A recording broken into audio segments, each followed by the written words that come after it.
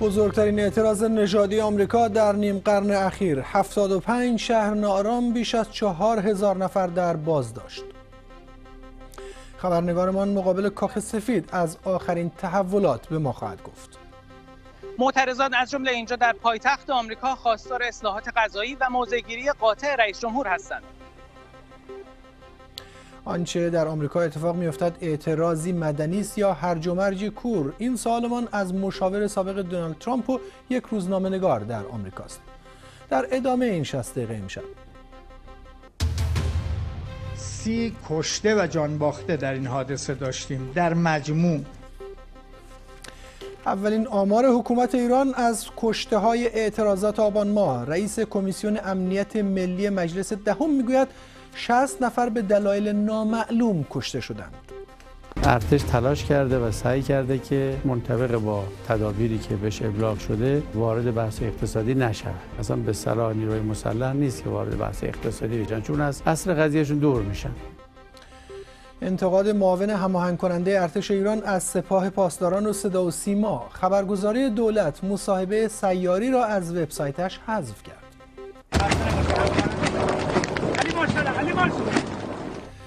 و طبیعت حفاظت شده خائیز دوباره طعمه حریق.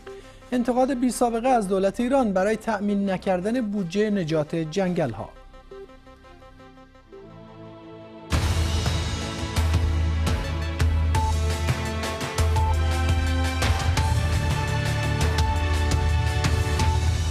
شست دقیقه. زنده از بی بی سی در لندن. آمریکا دستخوش تنش‌های نژادی است که از نظر گستردگی و سطح خشونت در نیم قرن اخیر سابقه نداشته. ویرانی و خشونت‌هایی که یادآور ناآرامی‌های 52 سال پیش است. سال ترور مارتین لوتر کینگ قهرمان مبارزه با تبعیض نژادی. ده ها هزار مامور گارد ملی آمریکا در ده ها شهر و ایالت کار حفاظت از اماکن حساس دولتی را بر عهده گرفتند. دامنه اعتراض ها به حوالی کاخ سفید رسیده. حالا روشن شده که یک بار دونالد ترامپ در بهبوهه اعتراض ها به سنگری امن هدایت شده. گامی احتیاطی برای حفظ جان رئیس جمهوری آمریکا. پنج ماه مانده به انتخابات ریاست جمهوری دولت ترامپ از طرفی در چنبره ویروس فلج کننده کرونا است و از طرف دیگر درگیر سرباز کردن یک زخم کهنه. موفق بیرون آمدن از این آزمون های دشوار برای رهبرانی کهنه کار آسان نیست. دونالد ترامپ چه خواهد کرد؟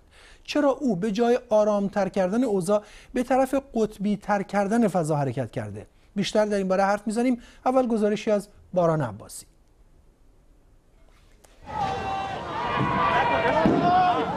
ششمین روز اعتراض ها به خشونت پلیس آمریکا.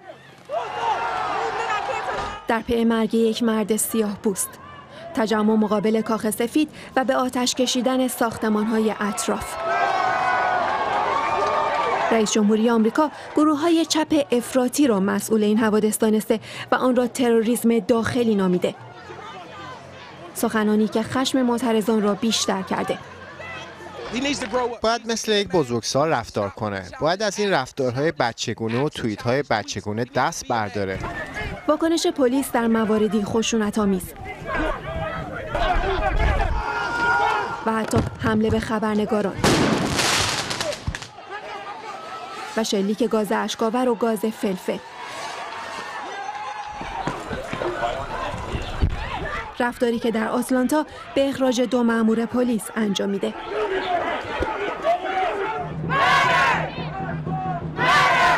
دیشب اعلام مقررات منع آمد و شد شبانه در چهل شهر.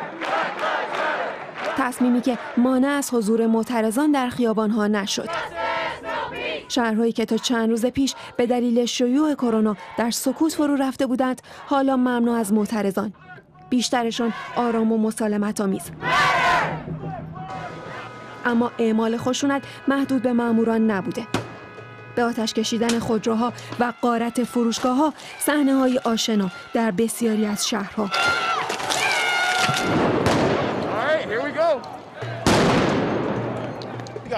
حقمونه که اینجا رو به آتیش بکشیم. این تنها راهیه که بتونیم دردی که می‌کشیم و نشون بدیم. چون صدامونو نمیشنون اینجا در مینیاپولیس نقطه آغاز اعتراض ها عبور کامیون از موانع و راندن به داخل جمعیت. معترضانی که در کنار یک بزرگراه جمع شده بودند راننده را از کامیون بیرون کشیده و تحویل پلیس دادند.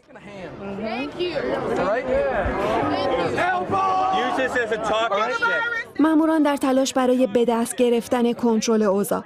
ابراز همدردی با اعتراضهای مسالمت آمیز و درخواست خودداری از خشونت. با زانو زدن نماد اعتراض به نجات پرستی.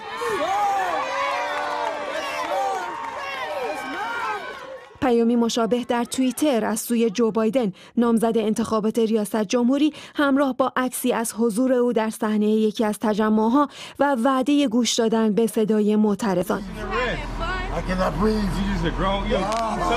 بازداشت و اخراج مأمور پلیسی که باعث مرگ جورج فلوید شد از اعتراضها کم نکرده. درک شوین 44 ساله به قتل غیر عمد متهم شده. اما سه مأمور پلیس دیگر که در صحنه حادثه حضور داشتند هنوز آزادند. معترضان خواهان اجرای عدالت و خشمگین از تبعیض علیه سیاه بوستان و نابرابری اقتصادی و اجتماعی. آتشی که دهها شهر را در خود فرو برده و حالا به چند قدمی کاخ سفید رسیده. باران عباسی بی بی سی. میریم به کاخ سفید مقابل کاخ سفید یا در واشنگتن دی سی همکارم هادی نیلی. همین الان با ماست. هادی از حال هوا و فضا در اونجا بگو برامون. جمال همین الان که داشتیم صحبت می‌کردیم قبل اینکه گزارش باران تمام بشه جمعیتی از معترضان که الان دارن دور کاخ سفید راهپیمایی می‌کنن از اینجا رد شد. شعارشون شعار اصلی یکی از شعارهای اصلی این راه تظاهرات و اعتراض هاست که شعار میدن اگر عدالتی نباشه آرامشی هم در کار نیست. میشه گفت الان یک الگو شکل گرفته یک الگویی داره تکرار میشه در واشنگتن و چندین شهر دیگر آمریکا که در طول روز اعتراضات جریان داره مردم جمع میشن شعار میدن اعتراضات آرام شعارها صدای بلند فریاد می‌زنن شعارشون رو ولی برخورد درگیری نیست. ولی هر چقدر به سمت شب نزدیک میشیم هوا تاریک میشه جمعیت کمتر و کمتر میشه و قارت و شورش و خرابکاری آتش زدن شروع میشه. همینجا در جلوی کاخ سفید من دیشب که اینجا بودم تا ساعتی که تاریک می‌شد جمعیت قابل توجه اینجا بودن. هزار و چند صد نفر. افرادی با خانواده هاشون اینجا بودن با فرزندانشون. ولی هرچی ساعت گذشت و بیشتر به ساعت 11 شب که آغاز من رفت آمد بود نزدیک شدیم شروع کردن اینجا اتفاقهای افتاد. مثل آتش گرفتن خودروها مثل آتش زدن این سرویس بهداشتی که اینجا در کاخ جل...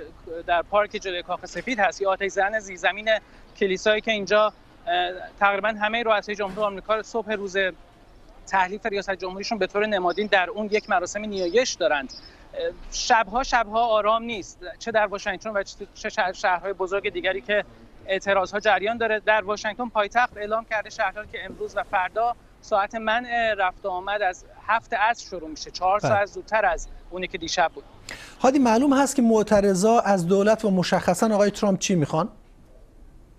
الان میگن اولا که بازداشت و محاکمه صرفا یکی از پلیس های حاضر در صحنه کسی که زانوش رو روی گردن مرد سیاه‌پوست غیر مسلح گذاشته بود.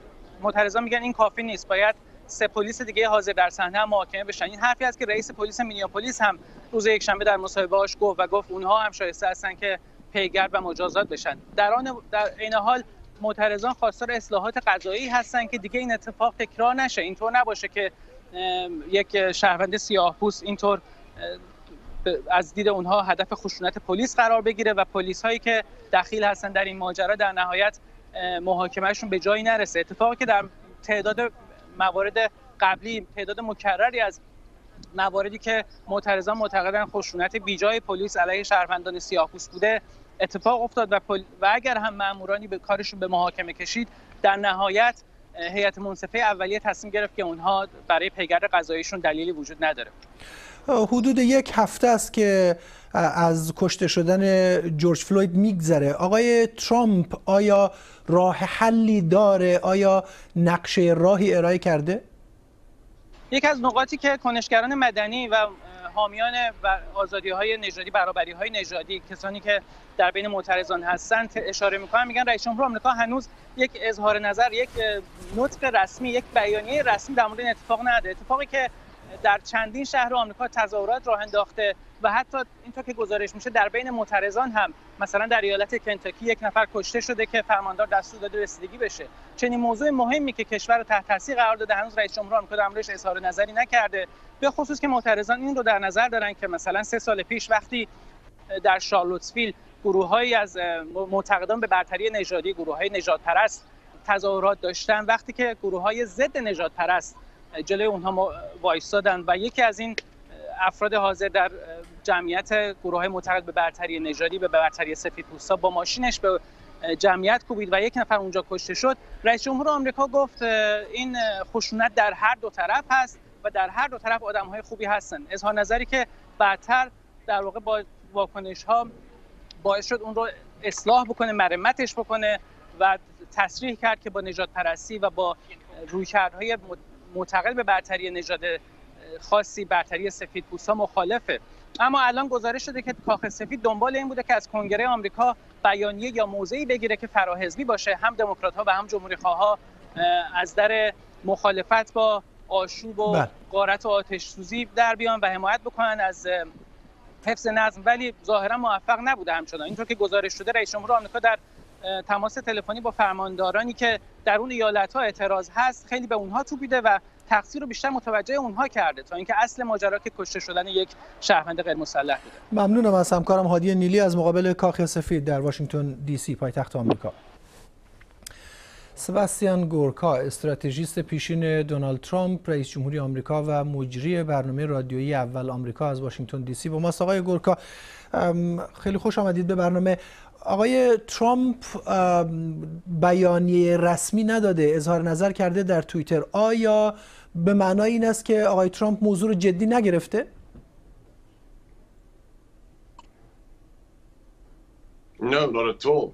به هیچ وجه به هیچ وجه. او آقای ویلیام بار وزیر دادگستری رو مسئول کرد که بیاد و در این باره بیانیه‌ای صادر کنه و توییتر و شبکه اجتماعی هم جایی است که او بیشترین تماس خودش رو با میلیون ها میلیون طرفدار خودش ارتباطش رو در اونجا برقرار می‌کنه. اعلام کرد که گروه انتیفا که گروه خشن هست و خشونت طلب هست رو به عنوان یک سازمان تروریست معرفی خواهد کرد. بنابراین این رهبری ترامپ هست و چنین انتقادی به او وارد نیست. چقدر برنامه آقای ترامپ برای کنترل اوضاع روشنه؟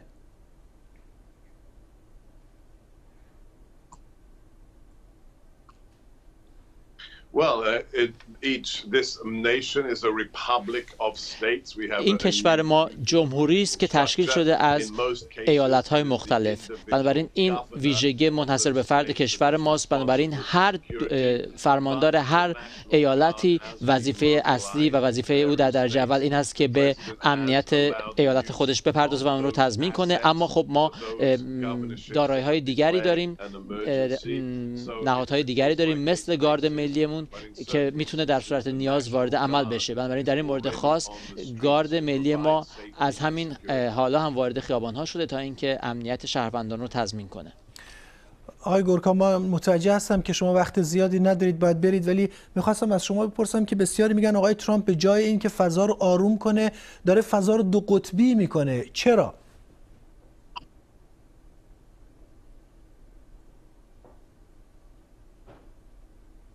Why do I think people say that? Because people چرا من فکر می‌کنم که مردم همچین چیزی میگن؟ نه بخوا... فکر نمی کنید که آقای ترامپ تلاش چندانی نمی‌کنه که وضعیت رو آروم بکنه بیشتر حرف از روش هایی می‌زنه که ممکنه باعث برانگیخته شدن معترضان بشه حرف از شدت عمل می‌زنه تا اینکه با اونها وارد گفتگو بشه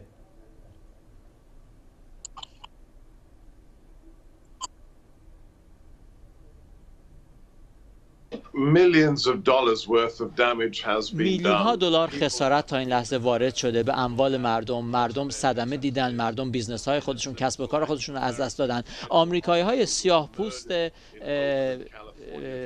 بیگناه. از جمله در آکلند کالیفرنیا یک نفرشون کشته شده. هیچ کدوم اینها هیچ ربطی به پرزیدنت ترامپ نداره. مسئولش جناح چپ هست مسئولش چپ ها هستن. حزب دموکرات هست که شرایطی رو ایجاد کرده که منجر به این خشونت ها شده. مکسین وادرز یکی از اعضای دموکرات کنگره گفته بود که برین و اذیت کنید آزار اذیت کنید اعضای جمهوری خواه کنگره رو. و دیگرانی بودن که به هم همچین فراخوان هایی دادن. بنابراین کسی که بگه رئیس جمهور ما مسئول این قضیه هست اونا دارن دروغ میگن و یک چیزی قطعیه. پرزیدنت به این وضعیت پایان خواهد داد و و طوری این کار خواهد کرد که 61 میلیون 61 میلیون آمریکایی که او رو انتخاب کردن و به او رأی دادن به عنوان فرمانده کل قوا و رئیس جمهور از او راضی خواهند. ممنونم آقای گورکا. ممنونم از سباستیان گورکا استراتژیست پیشین دونالد ترامپ. و باید توضیح بدم که می‌خواستیم بیشتر با آقای گورکا صحبت بکنیم ولی ایشون قرار دارن و باید برن. اما نگار مرتضوی روزنامه نگار از واشنگتن دی سی با ماست. خانم مرتضوی آنچه که الان دیده میشه اعتراض مدنیه یا اونطور که آقای گورکان بهش اشاره کرد هرج و مرج و خسارت وارد کردن کور؟ ببینین هر دوی اینها هست. یعنی گروه های من اینجا تا ساعت یک بعد از نصف شب دیشب یک صبح می‌دیدم که گروه های کوچکی هستن که تمام شیشه های مغازه ها رو این دور بر شکستن. صبح من رفتم همینجا در نزدیک کاخ سفید قدم زدم در مغازه داشتن پنل های چوبی نصب می‌کردن که دوباره آماده بشن احتمالا برای شکستن امشب. وارد مغازه ها می‌شدن وسایلی رو غارت می‌کردن. ولی گروه های کوچکی بودن همونطور که خبرنگارتون هم گفتن هزاران نفر در طول روز به صورت مسالمت آمیز تظاهرات می‌کنن. ساعت 11 شب که اینجا در واشنگتن ما حکومت نظامی اعلام شده اکثر تظاهر کنندگان صلح آمیز اصلا به خونه هاشون میرن. و شما در پاسی از شب گذشته بالاخره گروه های خرابکاری رو می‌بینین که میان و در واقع منحرف می‌کنن پیام اصلی رو. و اینطور که حالا تحقیقات ایالتی و شهرهای مختلف و مقامات دارن میگن نشون فقط گروه های افراطی چپ نیست ظاهرا گروه های افراطی راست گروه هایی که به برتری نژادی معتقدن گروه های نئونازی هم وارد این تظاهرات شدن و دارن سعی می‌کنن در واقع اونها رو به خشونت بکشن با غارت و خرابکاری مسیر تظاهرات رو عوض از هر دو طرف به نظر میاد گروه افراطی در این حرکت رو انجام میدم. مطمئن می‌خوام تاکید بله. کنم تعدادشون کمه. جمعیت اصلی اون تظاهرات اصلی و صورت مسئله رو ما نباید فراموش کنیم. بعضی از جمهوری ها میگن که دموکرات ها هم فعالان وارد شدن. اونا می‌خوان رئیس جمهوری آمریکا رو ضعیف نشون بدن ناکام نشون بدن. بنابراین اونها هم تحریک می‌کنند. خب ببینید تا حدی واقعیت حالا ما در صحبت آقای گورکام اگه دقت کرده باشیم به جای در مورد اصل مسئله صحبت کنه یک مرد سیاه به خاطر یک اسکناس قلابی 20 دلاری. یعنی ما یادمون نره چطور شروع شد. صاحب مغازه به پلیس زنگ داده گفته ایشون یک اسکناس 20 دلاری قلابی داده. و بعد پلیس اومده و این مرد رو طوری بازداشت کرده در چنان شرایط خشنی که بعد از دوازده دقیقه درجا کشته شده یعنی این خشونت عریان رو وقتی که سیاهان می‌بینن و این همونطور که شما خودتون هم گفتین یه زخم قدیمیه که سر باز کرده. این آقا اولین نفر نیست آخری هم نخواهد بود. چند روز قبل از اون در نیویورک در یک محله بسیار متمول نیویورک برخورد یک زن سفید با یک مرد سیاه رو دیدیم. نژادپرستانه قبل از اون افرادی بودن کشته شدن. تامیر رایس اریک گاردنر در نیویورک در جورجیا در ایالت های دیگه. خشونت فقط هم در پلیس و سیاهان نیست. یعنی این مسئله نجات پرستی و این دو قطبی بودن ماجرا بخشی از جامعه رو هم در بر بله. می‌گیره. در آقای احمد آبری چند ماه پیش ما دیدیم که دو فرد سفید پوست پلیس هم نبوده. یکیشون پلیس سابق با تفنگ رو در محله دنبال کردن ورزش می‌کرد و کشتن و چند ماه طول کشید تا پلیس با اینها برخورد کنه در واقع یکی از اعتراضات مسئله نجات پرستی و این نوع برخورد و بعد از اون مسئولیتی که پلیس داره یعنی خشونت اوریانی که پلیس در مقابل به خصوص مردان سیاه‌پوست داره و بعد بله. مسئولیتی که بعد از اون اگر این ویدیو نبود از کشته شدن آقای جورج فروید احتمالاً مسئله اتهام قتل علیه این پلیس و حتی شاید اخراج اونها اتفاق نمیافته ما بعد از گفتگو با شما به جزئیات لحظات آخر مرگ جورج فلوید هم خواهیم پرداخت اینکه او چطور کشته شد چطور جان داد در دست پلیس. ولی آیا این اعتراض ها بالاخره با شکل شمایلی که داریم می‌بینیم با تحریک هایی که میشه با گستردگی که پیدا کرده به جایی می‌رسه خواسته ای رو در حقیقت برآورده می‌کنه؟ ببینید از نظر شخص اول مملکت که آقای ترامپ فقط هم رئیس جمهور آمریکا نیست نوعی او رو اقلا در دنیای غرب به عنوان رهبر دنیای آزاد می‌بینه. یعنی اون رفتاری که از بالا به پایین اعمال میشه روی تمام این جامعه و شاید حتی فراتر از مرزهای آمریکا تاثیر می‌ذاره. به همین دلیل ما ببینیم که تظاهرات هم در فراتر از مرزهای آمریکا بوده. من دیدم تظاهرات گسترده در برلین جلوی سفارت آمریکا در کانادا و کشورهای دیگه ای رو که در واقع این رو آینه ای از جامعه خودشون می‌بینن نه تنها آقای ترامپ به این دو قطبی شدن کمک کرده در واقع خودش دامن زده در واقع این رهبری که نشون نداده نبود رهبری اون فضا رو بدتر هم کرده.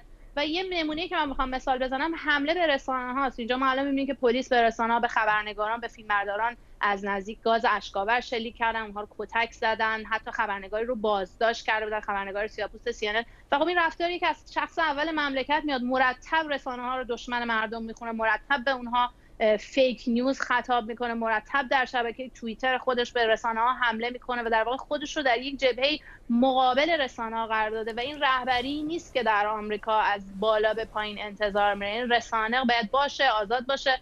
وظیفهش انجام بده دیدبان قدرت باشه نه اینکه قدرت در مقابل رسانه قرار بگیره. و خب این مسئله از بالا به پایین بله. حالا ما در برخورد با تظاهر کنندگان در برخورد با رسانه همه اینها رو دیدیم. ولی اینکه آیا به جایی می‌رسه من فکر کنم این باز هم یک قدمیه در ادامه قدم های قبلی رو به جلو. و اینکه اینقدر مصر هستن فکر نمی کنم نهایتا بی تاثیر باشه. ما تصاویر زنده ای داریم از شهر مینیاپولیس از مقابل مغازه کاپ فود. همون مغازه‌ای که آقای فلوید رفت در اونجا سیگار بخره و بعد در اونجا بازداشت شد و بعد همه تصاویر کشته شدن اون رو یا بیهوش شدن او رو دیدند. الان این فردی که در وسط بود ترنس فلوید برادر جورج فلوید بود که مشغول سوگواری بود در همون مکان مکانی که برادرش در شهر مینیاپولیس کشته شده. باز هم دوباره این تصاویر رو داریم. لحظاتی است بسیار احساسی برای بسیاری از افرادی که متهم می‌کنند پلیس رو به اینکه گویا تبعیض قائل میشه. علیه سیاهان و این تبعیض هم سیستماتیک است. در هر صورت این واقعه که در همین نقطه رخ داده آمریکا رو تکان داده. بخش های مختلفی از آمریکا رو به آشوب کشیده و نگاه های بسیاری رو در سراسر جهان به آمریکا متوجه کرده. در میانه بحران ویروس کرونا که اقتصاد دنیا رو فلج کرده حالا این اتفاقات در آمریکا در حال رخ دادن هست. خانم مرتضوی وقتی ما حرف از اعتراض می‌زنیم و شیوه برخورد با اعتراض از طرف دولت و همینطور عملکرد معترضان گاهی وقتا مشابهت سازی هایی میشه با بسیاری نقاط دیگری دیگر دنیا. بعضی میگن نباید چنین مقایسه صورت بگیره بعضی هم میگن که چنین مقایسه دور از ذهن شما چی فکر می‌کنید؟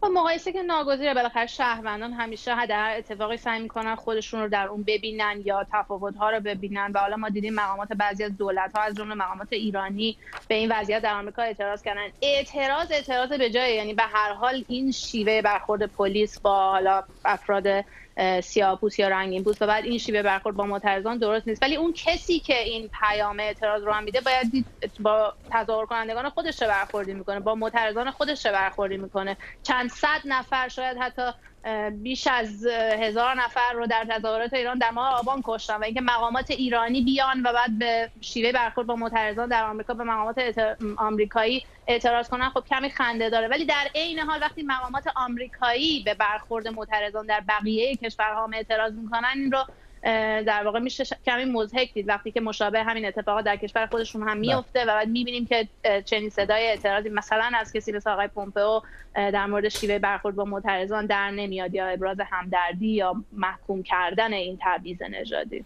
ممنونم از نگار مرتضوی روزنامه نگار در واشنگتن دی سی. بعد نیست که دوباره تصاویر زنده ببینیم از ایالت مینوسوتا و شهر مینیاپولیس و دقیقا نقطه ای که یک قتل در اونجا رخ داد و اون قتل زمین ساز ناآرامی های گسترده در آمریکا شد. این فرد ترنس فلوید هست برادر جورج فلوید. مردی 46 ساله بود جورج فلوید که در همین نقطه در برابر شماری از رهگذرانی که اتفاقا از این صحنه فیلم می گرفتند جان داد.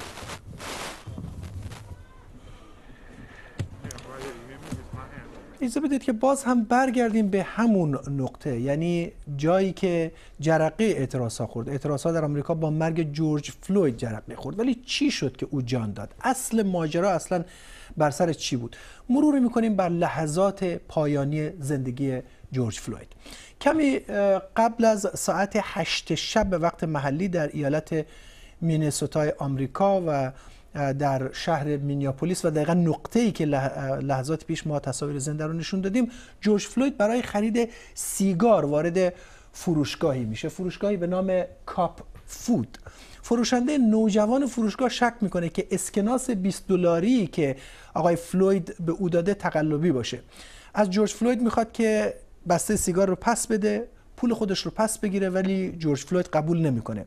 در ساعت 8 و یک دقیقه بعد از ظهر یا حوالی 8 و یک دقیقه شب فروشنده نوجوان تلفن رو بر میداره به پلیس زنگ می‌زنه و شکایت می‌کنه. او میگه که جورج فلوید از یک اسکناس تقلبی استفاده کرده کم و بیش مست به نظر می اومده و چندان بر خودش مسلط نیست. پلیس به سرعت سر می‌رسه. سر ساعت 8 و 8 دقیقه یعنی حدود 8 9 دقیقه بعد از اینکه گزارش میشه. توماس لین افسر پلیس اسلحه رو به طرف آقای فلوید می‌گیره و می‌خواد که جورج فلوید دستهای خودش رو نشون بده. پلیس میگه که جورج فلوید مقاومت می‌کرده و نمیگذاشته که به او دستبند بزنن. ولی اونها در نهایت به اون دستبند می‌زنن و به او تفهیم اتهام می‌کنن و بهش میگن که بازداشته. پلیس میگه که در این لحظه مامورها تلاش می‌کنن که او رو سوار ماشین پلیس بکنن ولی او مقاومت می‌کنه. ولی در بخشی از تصاویر دوربین های مداربسته به نظر نمی‌رسه که آقای فلوید چندان در حال مقاومت باشه. در هر صورت در ساعت 8 و 14 دقیقه آقای فلوید با دستهای بسته پشت سرش نقش زمین میشه.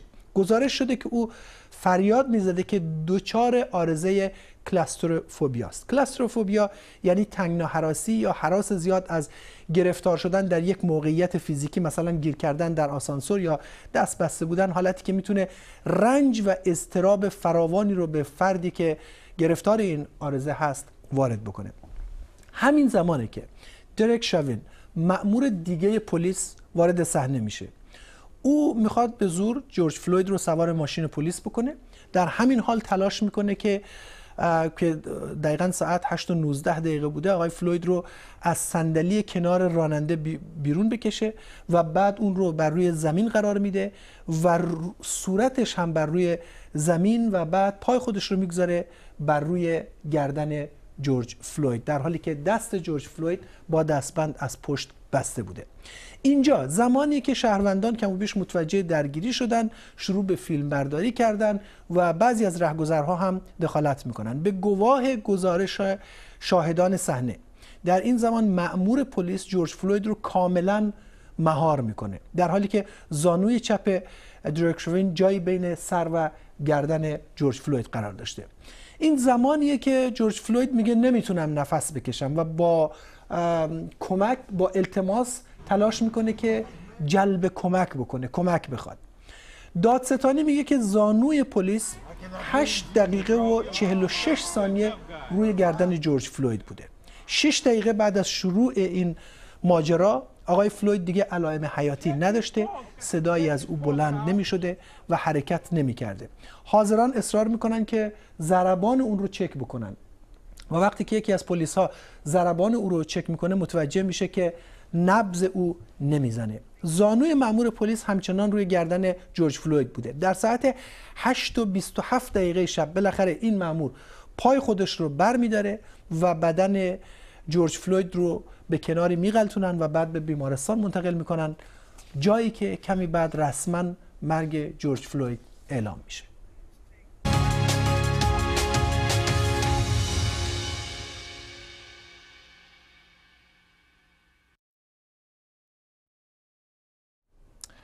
رئیس سابق کمیسیون امنیت ملی مجلس ایران با ارائه آماری از خسارات جانی و مالی اعتراضات آبان ماه گذشته تعداد کل کشته ها را 230 نفر اعلام کرده. مشتبه زنور گفته که بیشتر از 50 نفر آنها اعضای نیروهای امنیتی رسمی و بسیج بودند. او همینطور گفته که حدود 60 نفر از جانباختگان در اعتراضات حضور داشتند اما جزو به گفته او آشوبگران نبودند نامعلوم کشته شدند سازمان عفو بین الملل پیشتر گفته بود که دست کم 304 نفر از معترضان کشته شدند. خبرگزاری رویترز هم به نقل از منابعی در وزارت کشور ایران گزارش داده بود که در مجموع 1500 نفر حدود 1500 نفر در جریان ناآرامی های آبان جانشون را از دست دادند. ما 230 کشته و جان باخته در این حادثه داشتیم. در مجموع که 6 تا اینا همون شهدای معمور ما بودن. من اینا رو با توجه به تلاشی که شده ریز در حقیقت آمار رو هم عرض می‌کنم که اینا به چه شکل و جزء چه گروه هایی هستن که جزء جانباختگان این حادثه است. عرض کردم که 6 نفر خب شهدای جانباخته در این حادثه هستند 20, نفر 20 درصد از این عزیزانی که جان باخته هستند کسانی که در قالب نیروهای عمل کننده برای استقرار نظم و امنیت و برگردوندن نظم در صحنه حضور داشتند. هفت درصد کسانی بودند از این 230 جان باخته که اینها در درگیری های مستقیم با نیروهای نظامی و انتظامی و امنیتی جان باخته شدند. 16 درصد حمله به مراکز نظامی انتظامی و دفاعی. 31 درصد به مراکز عمومی حمله کردن در این حوادث کشته شدن و جان باختن. 26 درصد اینها کسانی هستند که جزء معارضی نبودن آشوبگر نبودن حمله به مقری نداشتن.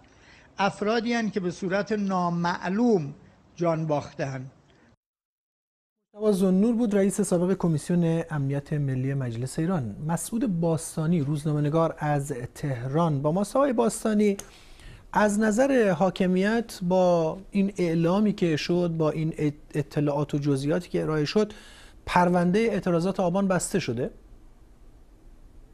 من سلام عرض کنم خدمت شما و شنوندگان و بینندگانتون. ببینید بله می‌تونند این واقعیت رو بگن که خیلی راحت بگم با همین ساده انگاری پرونده آبان ما بسته شده. اما همین اعتراضات اخیری که در منطقه قیزانیه اهواز و در اطراف اهواز صورت گرفت نشون میده که سطح اعتراضات چگونه است و پرونده اعتراضات در ایران به چه صورت به شکل تسلسلوار ادامه پیدا می‌کنه. اما بهتر این گونه به پاسخ شما رو بدم که پرونده اعتراضات زمانی در ایران بسته میشه و پرونده آبان ما زمانی در ایران بسته میشه که علل اصلی و علل ساختار به وجود اومدن این اعتراضات از بین بره. به نظر من آبان ما محصول یک سری از اشتباهات خطاها و بحرانسازی های آمدانه و ناشیانه ای بود که در حوزه های اقتصادی و امنیتی در حوزه های رسانه‌ای و تبلیغاتی و در حوزه های جهتگیری به سمت مردمی که واقعا جزو محرومترین و بیصداترین مردم این جامعه بودن صورت گرفت. بارها تلاش شد که از دولت رو وادار بکنند جزئیات این حادثه رو اعلام بکنه تعداد تلفات آمار تلفات رو بگن ولی تفره می‌رفتن. چطور شد که الان راضی شدن؟ علت این تاخیر چی ببینید این بحث علت تاخیر رو من می‌خوام که از همین حرفهای آقای زنور استفاده کنم. امروز می‌بینید که آقای زنور داره با ترکیب درصدگونه و اعداد دقیق به تفکیک در واقع آمار جانباختگان حوادث تلخ آبان ماه 98 رو اعلام می‌کنه.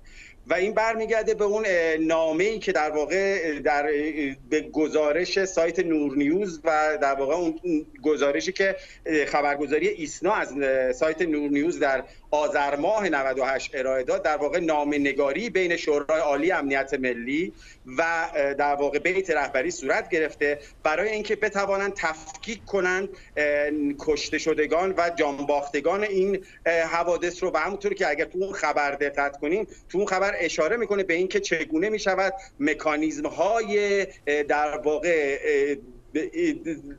مکانیزم های در واقع تحت پوشش قرار دادن افرادی که در آبان ماه 98 جان خودشون از دست دادن برای زیر مجموعه قرار گرفتن تو سازمان بنیاد شهید و سازمان ایثارگران طراحی بشه. به عنوان مثال آیا کسی که در خیابان و خیابان کشته شده و با نقشی هم در اعتراضات نداشته آیا اونو می‌تونیم جزو شهدا به حساب بیاریم؟ این استعلامی بوده که در آذر ماه از طرف شورای عالی امنیت ملی صورت و به صورت رسمی استعلام و جواب اون استعلام هم اعلام شده. اما یه واقعیتی که از دیروز تا امروز یا از طی دو سه روز اخیر نشون میده اینه که آمار اعلام شده توسط وزیر کشور که بعد از هفت ماه صورت می‌گیره.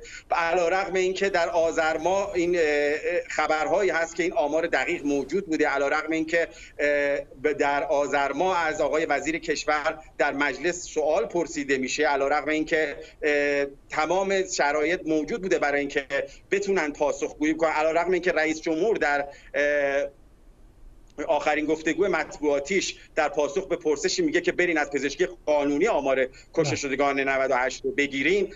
ولی این سهلنگاری و بیتفاوتی و امروز هم که آقای رحمانی فضلی میاد و مقابل دوربین تلویزیون قرار می‌گیره با استفاده از کلماتی مثل حدود 45 46 نفر یا از انگار که میزان شمارش افرادی که در حوادث آبان ماه جان باختن رو می‌شود با متغیر حدود تعیین کرد. خیلی ها انسان بودن آمار مشخصه و ایشون باید به سطح سریح قاطع جواب بده و اتفاقا مهمترین خواسته هم این هست که عوامل و در واقع کسانی که منجر به این حوادث تلخ شدن و کسانی که رو به مردم شلیک کردن محاکمه و مجازات بشه.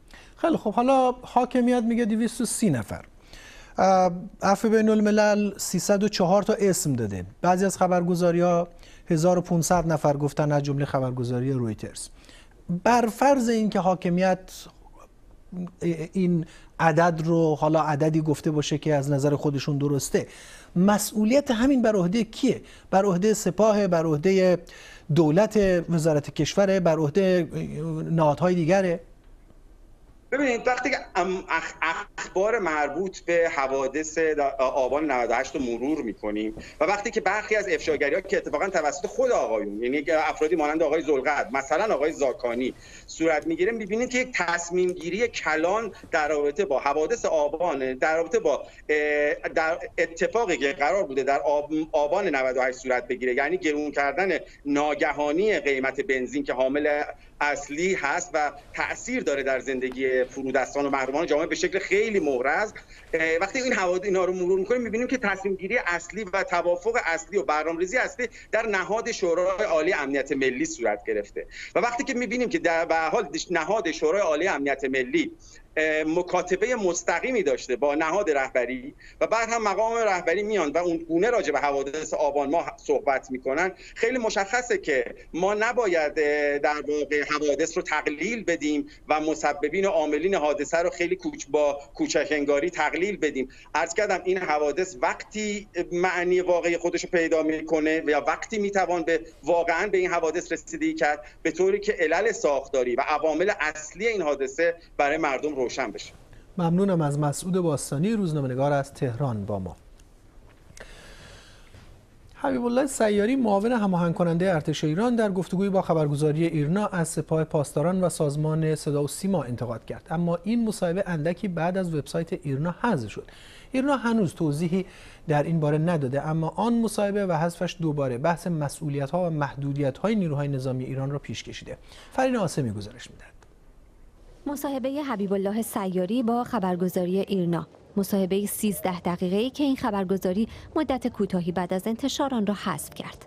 در آگهی این مصاحبه آقای سیاری صحبت‌هایی درباره دخالت اقتصادی و سیاسی نیروهای مسلح کرده که در نسخه 13 دقیقه‌ای وجود ندارد. اصلا به صلاح نیروی مسلح نیست که وارد بحث اقتصادی بشن چون از اصل قضیهشون دور میشه فرمانده معظم کل قوا وقتی برخلاف آقای سیاری عبدالرحیم موسوی فرمانده کل ارتش اول اردیبهشت 97 از نقش سپاه در حوزه های غیر نظامی دفاع کرده و گفته بود وظیفه سپاه ورود به مسائل اجتماعی و اقتصادی است و کسانی که می‌گویند چرا سپاه وارد این عرصه ها می شود یا نمی‌دانند یا خود را به قفلت زدند. سپاه پاسداران انقلاب اسلامی به دلیل دخالت گسترده در حوزه های اقتصادی مورد انتقاد گسترده است. طی سالهای گذشته بسیاری از پروژه های عمرانی ایران در حوزه های مختلف انرژی، مخابرات، راه و ترابری و سدسازی با موافقت دولت به قرارگاه خاتم الانبیای سپاه واگذار شده. طی ماه 96 امیر حاتمی وزیر دفاع ایران از دستور رهبر جمهوری اسلامی برای پیگیری واگذاری بنگاه های اقتصادی در ارتش و سپاه خبر داد. حسن روحانی رئیس جمهوری ایران بارها از دخالت سپاه در حوزه های اقتصادی انتقاد کرده. این شد اقتصاد؟ این شد خصوصی سازی؟ این درست شد؟ حالا اون دولت ازش میترسیدن. تازه تفنگ نداشت. حالا دادیم به یه دولتی که هم تفنگ داره هم رسانه داره همه چی داره. کسی جرأت نمی‌کنه با اینا رقابت کنه. ارتش تلاش کرده حبیب الله سیاری در گفتگویش با ایرنا به دخالت نیروهای مسلح در سیاست هم اشاره کرده. ما در سیاست هم دخالت نمی‌کنیم. آیا این معنیش اینه که سیاست نمی‌فهمیم؟ این نیست. ما سیاست خوب می‌فهمیم. خوب تحلیل می‌کنیم. خوب متوجه هستیم. اما وارد سیاست نمیشیم. چون سیاست زدگی بر نیروهای مسلح آسیب است. آیت الله خامنه ای هم پیشتر درباره حضور سپاه در عرصه سیاسی اظهار نظر کرده. لزومی ندارد حتما سپاه در عرصه سیاسی بره به پاسداری بپردازه. اما باید عرصه سیاسی را بشناسد.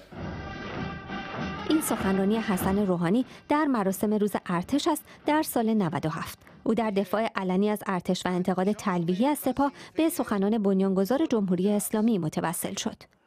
با اینکه سیاست را خوب می‌فهمد اما هرگز در بازی های سیاسی وارد نشده است و به وسیعت و دستور امام راحل رضوان الله تعالی علی به خوبی عمل کرده است. گفته هایی که بلافاصله با واکنش سپاه پاسداران روبرو شد. سپاه با صدور بیانیه‌ای این حرفها را اقدامهای ناپسند و اظهارات وحدت چکن و تفرق انگیز برخی چهره ها و عناصر نامید. ما میگه هر کسی تو چارچوب شهر وظایف خودش داره کار می‌کنه. اگر جای موازی کاریه بایستی تلاش کنیم که از موازی کاری ها جلوگیری کنیم. بگیم یک کار مدیریتیه. اگر که هر کسی به شرح وظایف خودش بپردازه به نظرم دوگانگی به وجود نمیاد. گفته های دریادار سیاری درباره فعالیت های سپاه و ارتش بار دیگر این بحث را مطرح کرده که حوزه مسئولیت این دو نیروی نظامی کجاست و اختیارات هر کدام چقدر است. فرین آسمی بی بی سی پوریا ماهرویان همکارم اینجا در استودیو با ماست پوریا مطلبی تحلیلی در وبسایت ما هم نوشته با عنوان انتقاد دریادار سیاری از سپاه و تفاوت دیدگاهش با فرمانده ارتش حتما این مطلب رو بخونید. این گفتگو پخش شد بر روی سایت قرار گرفت بعد برداشته شد. آیا گفتگوی متفاوتی بوده با مثلا مصاحبه قبلی که دریادار سیاری انجام داده بود؟ بله جمال این گفتگو متفاوتی بود با اینکه گفتگو کوتاهی بود. دلیل کوتاه بودنش این بودش که به نظر می‌رسید که تدوین شده بود چون می‌بینیم که دریادار سیاری میره ایرنا و با چند همراه و نمی‌تونه فقط یک گفتگو 13 دقیقه‌ای باشه. حتی تیزر این گفتگو با اون متن گفتگو متفاوته. جاهایی که الان تو گزارش هم دیدیم که راجع به دخالت در سیاست و دخالت در اقتصاد میگه نیروی نظامی نباید حضور داشته باشن در متنش نیستش یا کوتاه شده است. آقای سیاری میشه گفتش که رسانه ای ترین فرد ارتش ایرانه. حتی با توجه به اینکه سابقه مسئولیتش بیشتر از فرمانده فعلی ارتش بیشتر در رسانه ها حضور داشته. اسم آقای سیاری رو ما خیلی بیشتر شنیدیم از فرمانده های همرده خودش. چه اون موقع که فرمانده نیرو دریایی بود چه اون الان که به عنوان نفر سوم ارتش معاون هماهنگ کننده است و دائم توی تلویزیون بوده مسابقه رسانه دیگه داشته و همواره آقای سیاری مثل دیگر فرمانده نظامی ارتشی سپاهی از همافزایی و همکاری مشترک ارتش و سپاه گفته در جنگ ما همراه بودیم با هم هیچ دو, دو نیروی موازی نیستیم. ولی این گفتگو متفاوته و مستقیما و جایی تلویحا داره از سپاه انتقاد می‌کنه. آقای سعیدی میگه که به صلاح نیروهای مسلح نیست که وارد بحث اقتصاد بشن. آیا تفاوتی داره مثلا با دیدگاه فرمانده ارتش؟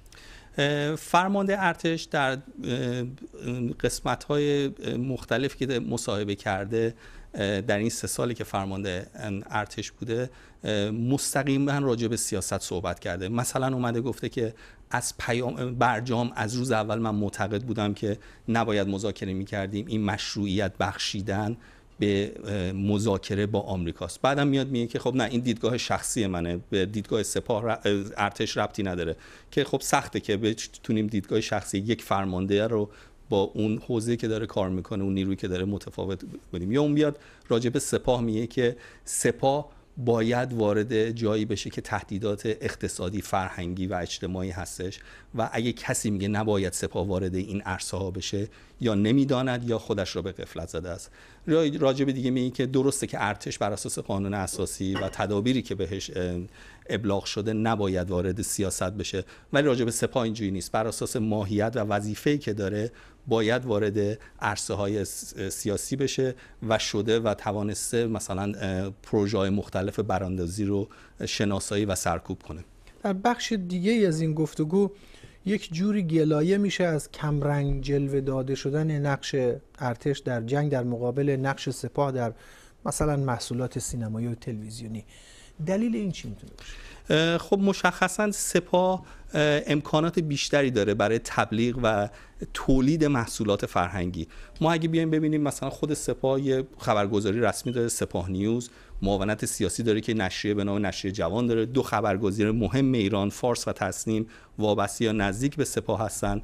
در سی سال گذشته تمام رؤسای صدا سیما به جز یک سال نیم که آقای سرفراز بودش از سپاه اومده بودن مدیران ارشد از سپاه سپاه سازمان سینمایی داره و می‌بینیم که در تمام این سی چل سالی که فیلم ساخته شده عمدتا راجع به سپاه ساخته شده. همین اخیرا مثلا راجع به احمد متوسلیان یه داکو دراما یه مستند داستانی می‌سازن ایستاده در غبار.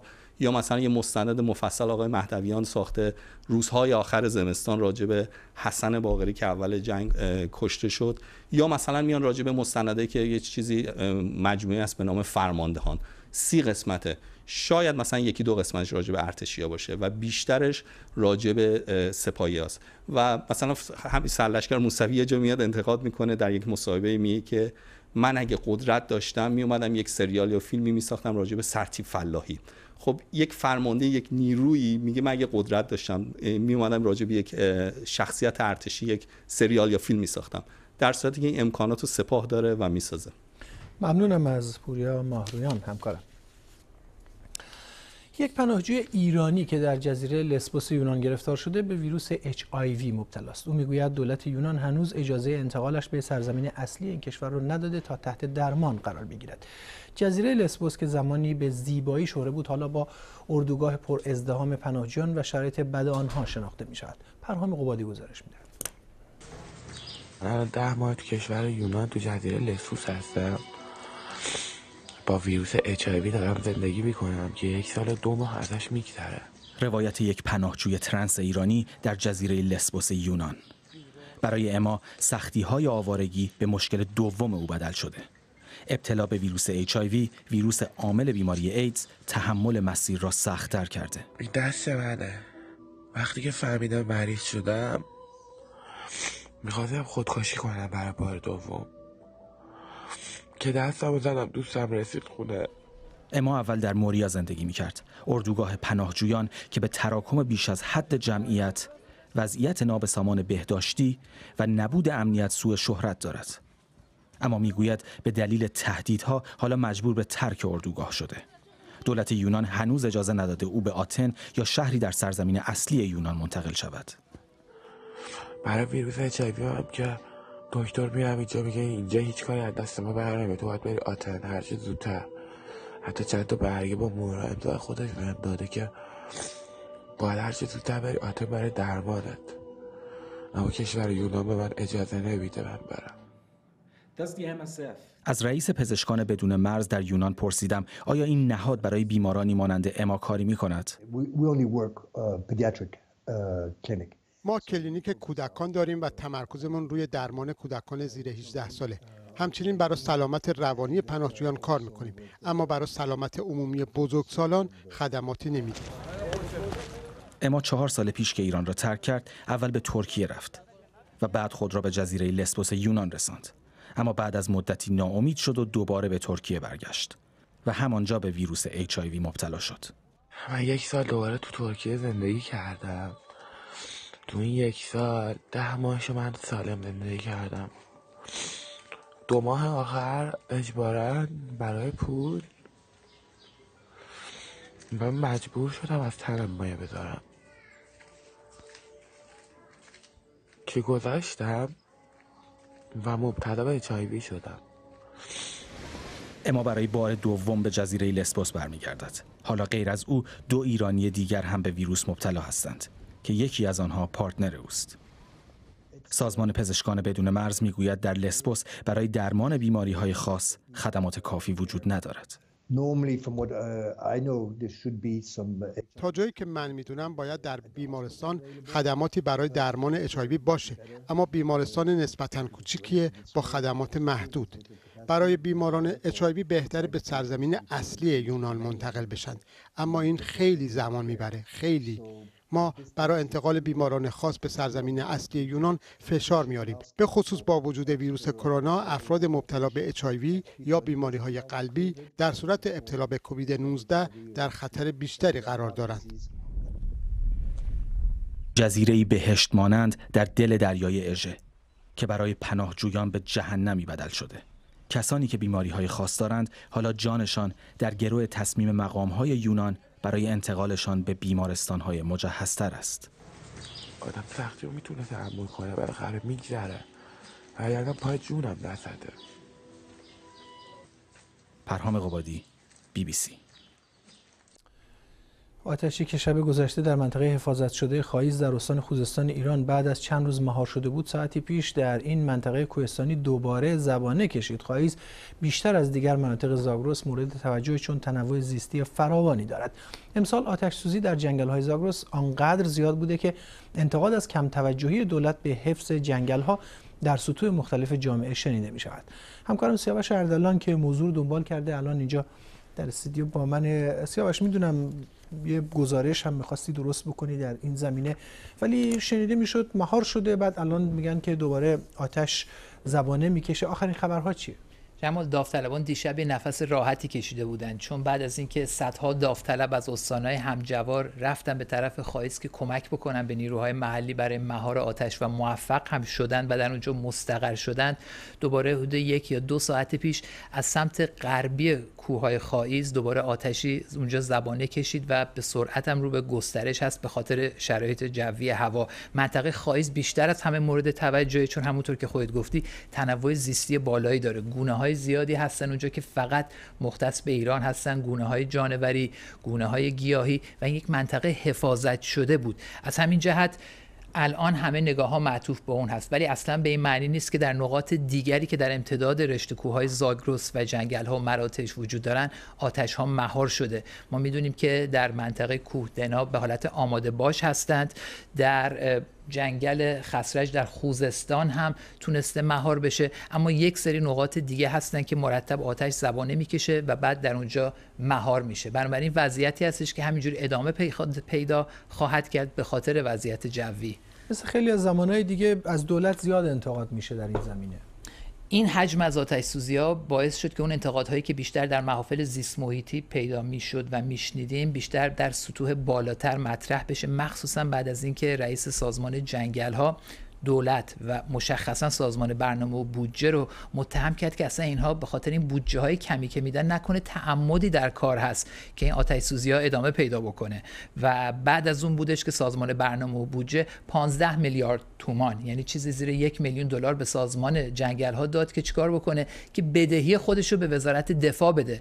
چرا؟ چون وزارت دفاع میگه تا وقتی بدهی ما تصویه نشه ما نمی‌تونیم امکانات لازم رو بدیم. امکانات اصلی بالگردهای آب پاش هستند. یا حتی چیزی در حد این دمنده ها که شاید 8 یا 9 میلیون تومن قیمتشونه ولی به خاطر بی‌بضاعتی سازمان جنگل ها به داوطلبان نمی‌رسه و عمدتا داوطلبان رو برای همین می‌بینیم که با دستهای خالی دستکش ندارن پیرهن خودشون رو در میارن خیس می‌کنن به دور دستاشون میپیچن و یا اینکه با کفش های نامناسب یا بطری های آب معدنی یا شاخه درختان دیگه که خودشون جز گونه های کمیاب هستن سعی می‌کنن که آتش رو مهار بکنن. ولی فعلا به خاطر همین نیروها بود که تا الان آتش مهار شده. ولی تا وقتی این مسئله حل نشه سازوکار مناسبی پیاده نشه که دولت مثلا بتونه در نقاط مختلف با نیروهای مسلح به تفاهم برسه که حفاظت از جنگل ها جزو وظایف نیروهای مسلح هستش. چیزی نیست که به خاطرش باید منتظر تصفیه حساب و پرداخت بدهی باشن که وارد عمل بشن. تا وقتی دولت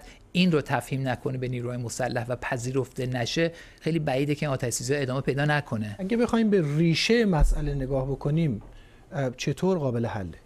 ببین ریشه مسئله یه مقداریش برمیگرده به خاطر اینکه شرایط جوی و بحران اقلیمی و تغییر اقلیم آب و هوا گرمتر میشه. این یه مقداریش هست. یه مقداریش سهلنگاری خیلی از مردم هست. ته سیگاری میندازن. مخصوصا الان که بعد از بارش های زیاد یه ذره مناطق سرسبزتر شدن یه دونه شما ته سیگار بندازی می‌تونه یه منطقه رو با آتش بکشه. مقدار دیگه ایش به خاطر سنت کشاورزانی هستش که در پایان فصل برداشت زمین های خودشون رو میسوزونن و این آتش سرایت می‌کنه به مناطق حفاظت مقدار دیگرش و اصلش قضیه که خیلی از کارشناسا روش تمرکز دارن بحث دامداری هستش. مراتع ایران ظرفیت این مقدار دام رو که چرای بیرویه می‌کنن ندارن.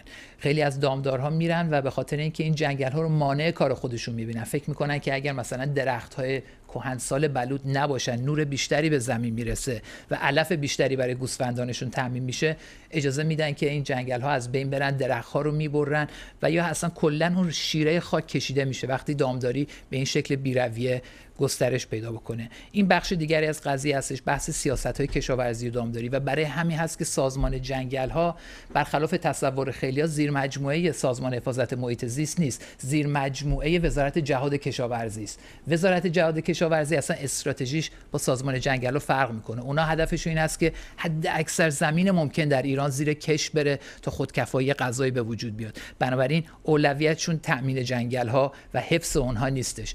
این نگاه اگه عوض نشه کماکان سازمان جنگل ها بی میمونه. حرفش در دولت خریدار نداره.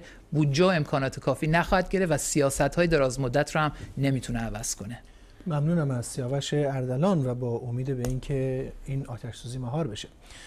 ممنونم از شما که تا این لحظه بیننده برنامه 60 دقیقه بودید و برنامه را هم تا آخر دیدید.